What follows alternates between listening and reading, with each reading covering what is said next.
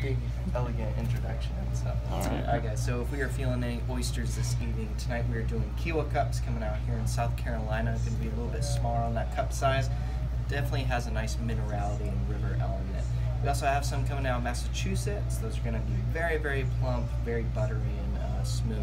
If you're feeling extra fancy, we are featuring a four ounce Wagyu steak tartare. Our Wagyu here at Hall's Japanese beef is A5, so it's some of the highest in its rating class. That raw form, melts right over the palate. I call it steak butter for a reason. It's very, very flavorful. The only way it gets better is if you actually cook it. I always recommend trying just an ounce or two just to mark it off your list. But the steaks are certainly what we're known for here at Hall's Chop House. We get all of our wonderful cuts here from Allen Brothers, based up in Chicago. They're a family-owned business for over 120 years, and they produce some of the top 2% certified prime cuts in the entire United States. So I like to say that there are no wrong choices. We do feature wet and dry aged steaks on our menu. Your wet aged steaks are basically vacuum sealed, marinated in their own juices. We do that for about 35 days, allowing those cuts to hold on to all that wonderful moisture for that nice plump, buttery uh, texture and mild flavor profile that most people uh, know and love these days. Your dry aged steaks are an old fashioned process where the cut is directly exposed to uh, oxygen for about 45 days in a temperature controlled environment that allows the enzymes to break it down, maximize tenderness, bring out the heaviest flavor elements of the cut. Basically cranks it all the way up. Now on here, Mr. Hall's favorite, it's going to be the wet aged New York strip here. New York's going to be firm in its texture, but very evenly balanced, a great go-to steak.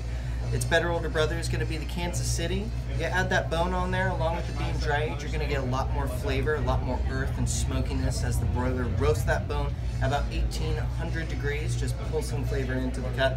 Uh, personally, though, I sided with my chef. The dry aged ribeye and the tomahawk are certainly the big flavor powerhouses here.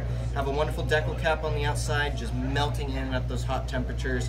With your tomahawk, it's going to be your midsection on the rib, uh, so you're going to have a nice balance of tenderness and flavor. Great steak to share as well. Can easily slice this up for you gentlemen in the kitchen. Serve it to you French style if you feel like trying something real special. And then last but not least, if either of you are filet fans, have a wonderful 14 ounce bone-in filet. Exquisitely rare, we only get about four of these per steer. Uh, four ounce bone adds a lot of extra marbling on there as you can see. So you're gonna hold on to that soft, soft velvety texture, but gonna get a lot more flavor the closer you get to that bone. And then lastly, off the menu tonight, we are featuring a wonderful eight ounce grass-fed bison filet. Bison's going to have a little bit of earth and minerality along with being especially delicate with a slightly sweet finish. Tonight we're going to be pairing this over a truffle mushroom risotto set, dressing it with some red wine bordelaise, and then throwing a big old dollop of truffle butter over the top. Tell me about your prime rib tonight. Prime rib. So we uh, slow roast it throughout the entire evening and cover it in a peppercorn rind. We cut it to order, so we can either give you a leaner, more marbled cut, kind of a chef's choice, right in between. It's absolutely delicious, nice and succulent. Always can serve it with a little au jus, horseradish sauce, or anything like that. Sold me. Done and done.